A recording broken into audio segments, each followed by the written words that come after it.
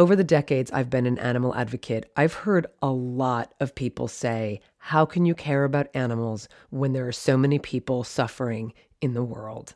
Look, there are a lot of problems in this world for both humans and non humans, and there are a lot of people sitting on their duffs doing absolutely nothing to solve them. There are fewer people who actually get up and speak out and do something to make this a better world, to make this a more compassionate world for everyone. To criticize animal advocates for the work they are doing seems misguided to me if you need to criticize someone, and I would suggest maybe not criticizing anyone, I think a better question might be why are you doing nothing to people who aren't doing anything at all? And not only do we not have to choose between caring about humans and non humans, working to make this world a better place for some of its residents results in a better world for all of its residents for the animals. This is Colleen Patrick Goudreau. You can find me at joyfulvegan.com.